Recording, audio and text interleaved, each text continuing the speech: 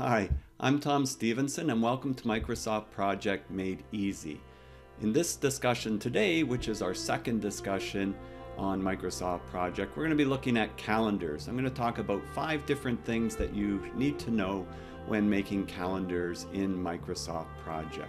If you want a longer version, more detailed and more intricate, you can look in the show notes and I have links to a number of other Microsoft Project uh, videos. I would also suggest you subscribe to my YouTube channel and then you'll see as I post new videos and there's a whole library of different related videos, especially in the areas of construction that you can view.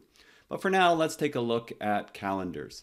All right, so if you've created a schedule in Microsoft Project, you need to customize the calendars so that it'll work effectively for you. So thing you do is you go up to the menu and you see where it says project, you click on that, you go to change working time. It'd be nice if it just said calendars, but it doesn't. So you have to go project, change working time, click on that, and that brings up where you can customize the calendars. And usually when we're talking fairly simple things here, you want to put in things like holidays. And so, you know, in this case, I've already put in, in Canada, we have a holiday that's on the third Monday of February, and that's Family Days. So the one thing you need to know with calendars is there's two tabs. There's work weeks and there's exceptions. So number one, if you're going to put a holiday in, you should put it in work work weeks. Uh, sorry, in exceptions. And so family day is there. If you had another holiday that you wanted to put in, let's say that you wanted to put in a holiday like Good Friday. I'm not sure what it is this year, but let's say it's uh, April 9th as an example. I can click on April 9th and I can type in uh, Good Friday as an example. All right, and then once I click in Good Friday, I just click over here and it will put up that holiday. And you'll see it hatched, and it usually gives you a legend on the side where you can review it and you can see it's hatched. Now, currently you notice that my project is going to finish on April 15th, uh, 2021. And so if I click OK, because this is before then, it should extend that out uh, by a day. So I'm going to click OK. And you see how it went to April 16th? That's because there's now a holiday in that period. And of course, it lights up the dates that were changed so that you know that what you just did affected these dates. Anything before the 9th, like the 8th, it's not impacting. Anything after that, it's impacting. So I'm going to go back to change working time. That's where we put in exceptions, like I said, and I would put in all of my holidays for the whole project. So another tip, uh, tip number two that you want to make sure of is that you put in all of the days that you don't intend to work.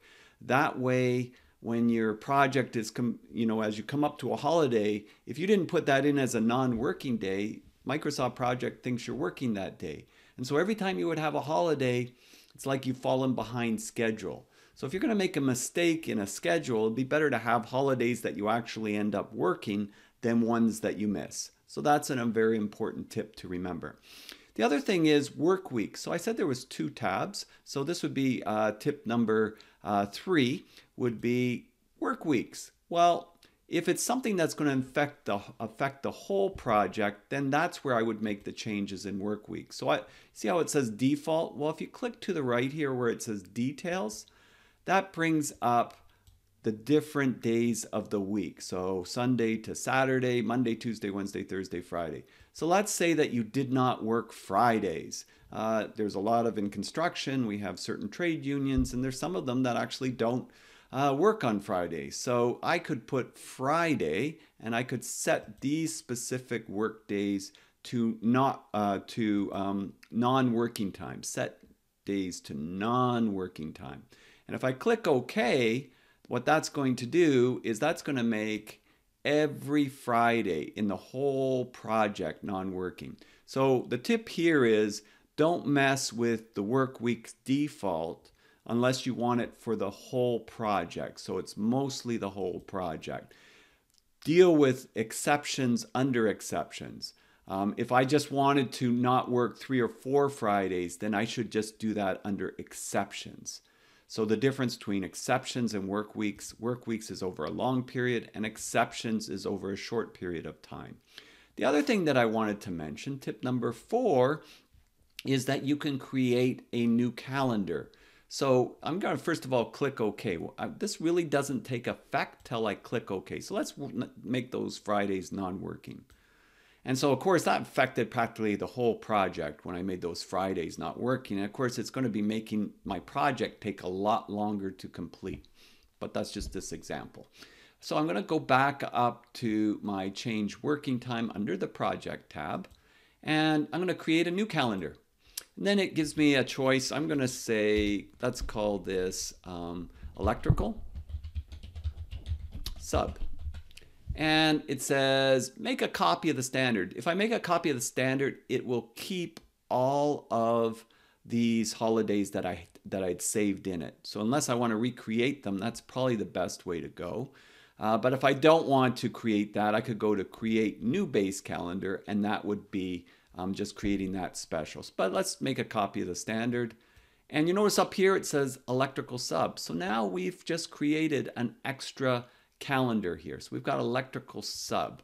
So I could, with this electrical subcontractor calendar here, um, I could put something special like this electrical sub is uh, has an exception that they're not working. Let's make it something that works with this. So March 17th, uh, March 18th. So let's say that I'm setting this that March 17th. Okay. So electrical sub, so I say non-working. I'm going to say that that electrical sub is not available on uh, March 17th. And so I've just set that now that it's non-working. So I'm going to click OK and nothing's going to happen to my schedule until I assign that calendar to the electrical sub activity. So I can do that by going into uh, double clicking on that actual activity like I did. So I just double clicked, it brings up the task information box. I can go to the advanced tab and I can assign a special calendar called electrical sub. It didn't exist before, but now it does. So if I assign that calendar to the electrical sub, click OK, now that changed my schedule too that meant that that sub was not available on the 17th. So they're starting on the 18th. And because it was on the critical path, it affected everything. I can see it over here in the indicator column that I've assigned that special calendar to the electrical sub. So that's where that's coming into effect. Now there is a nut that's so that's tip number four. Tip number five I can go to the resource sheet, and we'll talk about resources in another Microsoft Project Made Simple session. And so we've got here our list of resources. So this is a little bit more advanced. I could also, it won't let me because the electrical sub is under cost here. But if the electrical sub was under um, work, um, what I could do is I could pick the calendar and I could assign it to the resource. So I could actually pick that calendar and assign it to that resource. So every time I assign that resource, it would be using that calendar. But that only works under the work type. So this is sort of giving you something to think about later on when we talk about resources. And if you want more details, as I said, if you go to Microsoft Project, uh, sorry, the Microsoft Project description, you can go into that and you can see the other links that I have to the other schedules. So I'll just go back here to our screen, the Gantt chart, and that's how I switch is just sliding to the left, going to the Gantt chart, and now you can see uh, the overall project listed. So the five tips that we've discussed today, we have looked at change working time, we have looked at exceptions, so that's where we put in those holidays. Uh, and we have looked at work weeks. That is where we make a default change, like not working Fridays. Uh, we looked at the aspect of creating a special calendar. So that's where we can do it for the electrical subcontractor. We looked at applying a special calendar to an activity. So that's where we can do that, uh, where we just double click on the activity and we bring up the task information box And then under the Advanced tab, we can assign a special calendar. Or we can go into the resource sheet and we can assign a calendar to the resource as long as the resource is of the work type. So I hope you enjoyed this short video. Uh, look in the description for the list of other related videos and please subscribe to my YouTube channel for more upcoming stuff. So this is Tom Stephenson wishing you a wonderful day and we'll see you next time.